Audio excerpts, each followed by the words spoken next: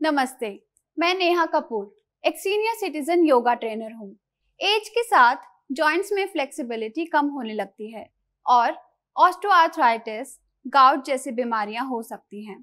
इस तरह के पेन में नियमित लाइट योगा एक्सरसाइजेस और आयुर्वेदिक ऑयल से मसाज दर्द से बेहतर राहत देता है।